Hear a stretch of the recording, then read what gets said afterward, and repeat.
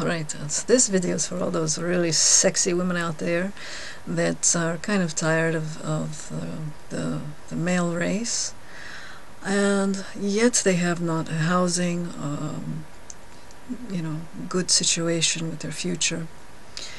Now, when we look at how, how are they going to proceed, how are they going to rehabilitate out of their situation, or we need to form a group for them and so these are be the women who are fed up I guess. It doesn't have to be a group of lesbians but a group that is just fed up. Uh, and yeah the government is also a fail for them so that's another another deal.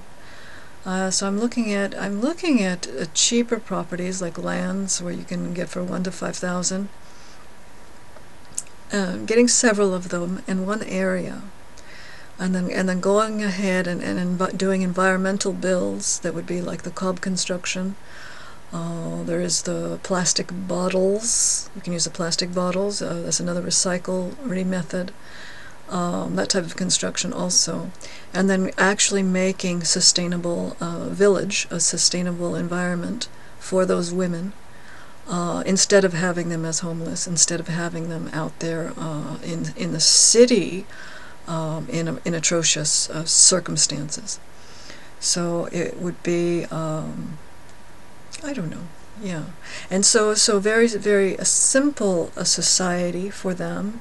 And if they did want to, you know, leave, uh, they could leave uh, and go off and, and get married somewhere. But yeah, it would be a non-male, um, a non-male, uh, what do you call it, um, group uh, of, of houses uh, that were built by these um, uh, ecological methods, sustainable and uh, very, very um, inexpensive. So yeah, so we're looking at that. Now we have we have the earth bag construction, which I prefer over the cob today, just because I just think it's quicker. Um, because it's a dry, it's just, just dry dirt versus, you know, getting that exact mixture and actually having to purchase sand um, in certain situations. So, so those types, so I'm, I'm trying to think of sustainable, self-sufficient uh, villages uh, built out in the desert for women. And it would be out in the desert, darn it. I, I don't know very many um, mountainous regions that would would be available, but uh, there that that might be might be a toughie. But yeah, um, so for maybe you know small cost, we're looking at twenty five thousand to fifty thousand dollars. You could have uh, a good fifty plus acres, and the women that could be, that could support fifty small little cob houses, and we would each one of the women would uh, would be builders. So we would all build this little construction um, community. And when the women are tired of being women, they're alone uh, uh, uh, with other women, then they can move on if they want, but they, or they can stay. So it's that type, it would be that type of a life helper uh, sustainability um, uh, situation because there are many women that are in their 50s, in their 60s that, that do not have uh, good social security. They don't have a good um, a good plan on what how are they going to retire. Um, doesn't look good. So um, so we have to start thinking about making the desert sustainable to support um, this this the demand of of women specifically so they don't live in atrocious situations in um, in the cities okay? And so they're not taken advantage of by men also. Anyway so yeah so a good a good cob workshop. No I don't really like that idea. I'm talking about, about actually making a, a cob village uh, sustainability uh, group. And that, and after that works, you know, and we have it proven, we can make another one. And I don't, I don't mean to kick men out completely, but um, at some point, I don't know. I think we're we're having too many fails in in that environment in that group, and it's it's created a lot of tensions, and yeah, I I just think it'll be a very good, um, very good. Um, what do you call it? An uplift, an up, an up change for for um, for women uh, that need it. So um, anyway, that was my idea. and yeah, so very very uh, low cost effective housing with a permaculture environment, uh, uh, creating gardens, village garden, so everybody has some kind of sufficiency, and then and then just a few. You would only need a few vehicles, and and if they want to work outside of that community or that effort, they can. Or if they just want to keep it as a retirement, sustainability, and just live live self-sufficiency, uh, I believe that would be possible. Now I know the deserts. I've been there already. I've lived there.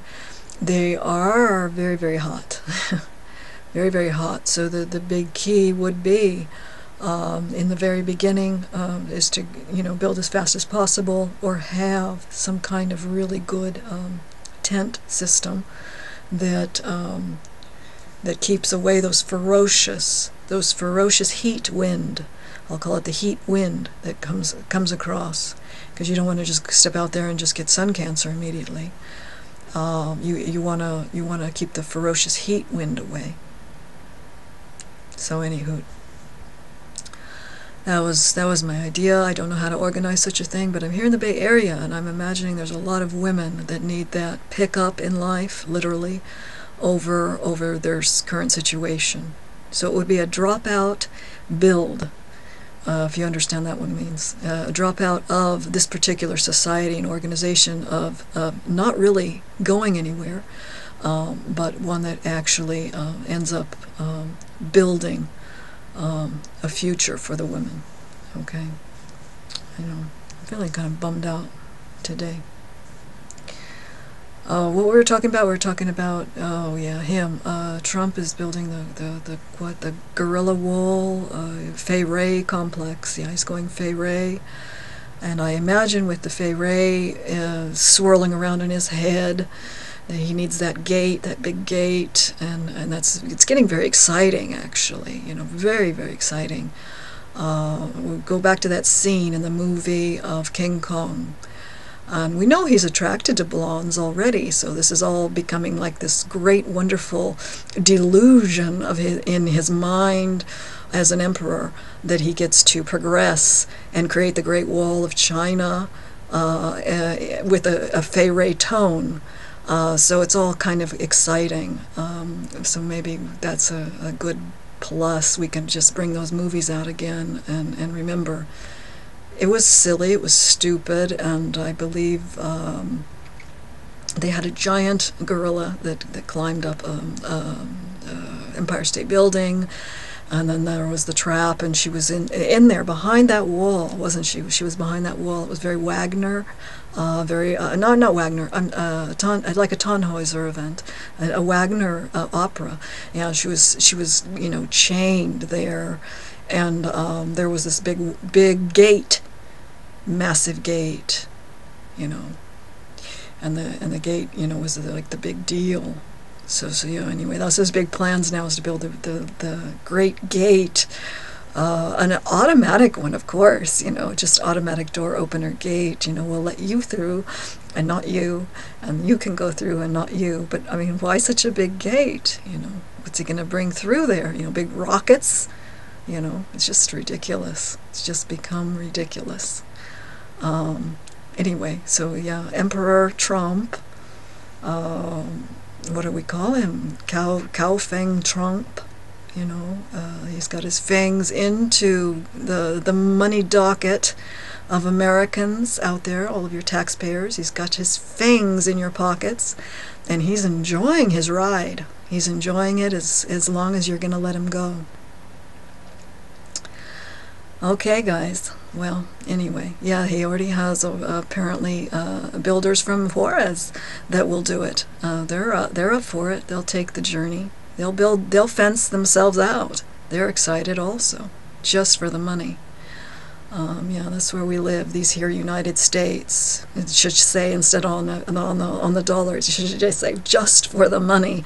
You know, that's who who we are. We just are just for the money.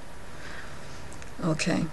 Anyway, so go cob, ladies, and uh, I really love Super Adobe. Um, let's let's really think about Super Adobe with. Um, it's the, it has the longer tubes uh, of the earth sacks, the longer the longer tubes. Now those ones are can be built faster.